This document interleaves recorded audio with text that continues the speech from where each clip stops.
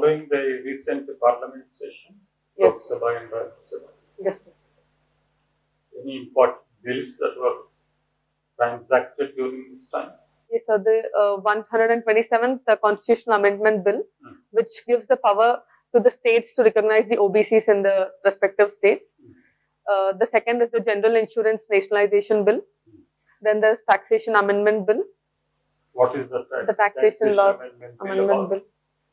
Sir, I am I have to go into detail about it here. Anything concerning retrospective? Yes, sir. Retrospective. The government has passed the retrospective tax amendment bill, which uh, ideally uh, uh, does not give the government powers to retrospectively tax companies before 2012. So uh, this is in light of the recent Vodafone crisis, the huge amount of dues uh, by the Vodafone which have to be paid to the government, and the government and the company is in losses. So this is uh, attributed to the retrospective taxation of the government, and by bringing this bill into uh, the parliament. Why has the government brought this bill now? Are they not foregoing a lot of money? Um, yes, sir, they are. Any any judgments in any foreign country tribunals, courts? So I can't think of any right at the moment.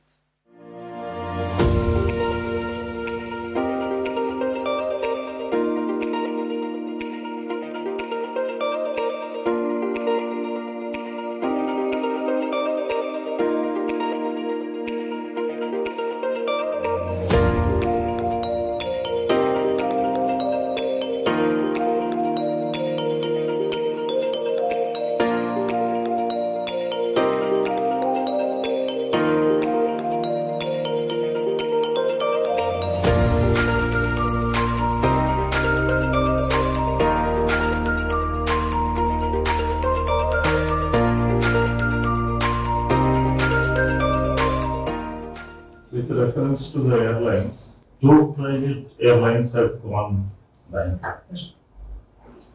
Yes.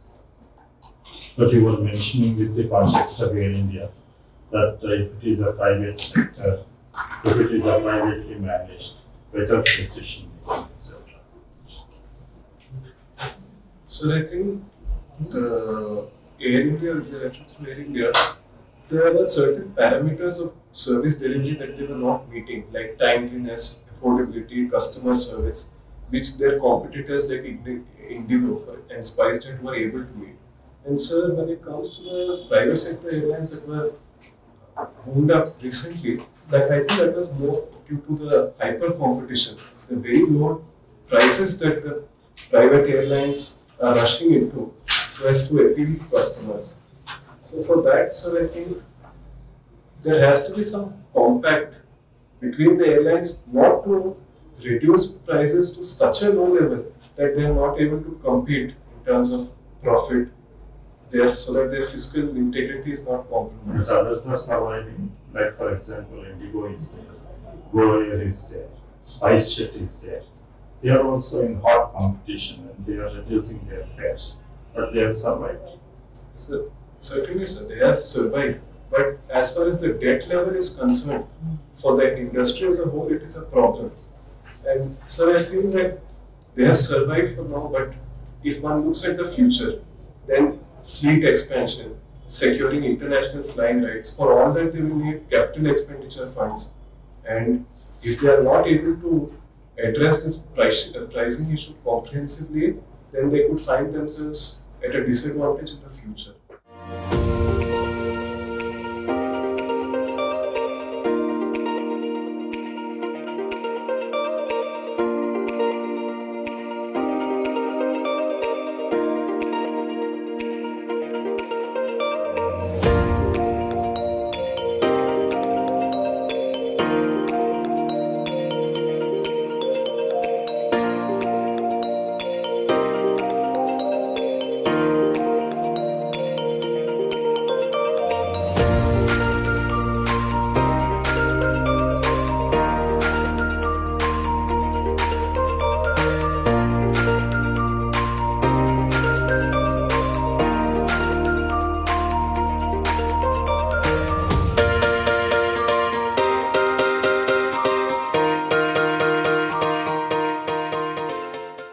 Which which are the latest books we have read?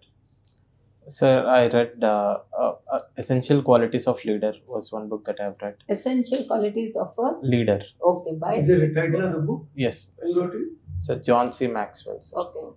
What did you get? What are the essential qualities as per that book? Uh, ma'am, uh, according to that book, uh, leader should have qualities like uh, uh, he should have the commitment towards the cause that he's working for. Uh, he should have the confidence and uh, he should be able to communicate with the people and the others who uh, whom he want to rally behind that cause. And uh, he should have a proper integral character uh, character uh, to uh, withstand any pressures that he might face in pursuing that cause. And he should have the confidence to to pursue his dream. These are few qualities that I have read in those books. But do you agree with that? Would you like to be a leader? If you join the civil services Yes. for an IAS officer, you need to be a leader. Yes, ma'am. So, what kind of qualities would you like to have? How would you lead? Yes, ma'am. ma'am. I would like to have the confidence to make good decisions, and uh, uh, and I, I, I think uh, I, I believe I should also make sure that uh, decisions are made after uh, proper uh, considering the stakeholders' interest as well. And uh, apart from that, I should maintain a, pro- a very integral character as well uh, to withstand any pressures that I might face in the uh, possible future. And uh, ma'am, uh, I should uh, be uh, empathetic to people's uh, cause as well, and that comes under commitment. And uh, these are the few values that I would like to imbibe within me.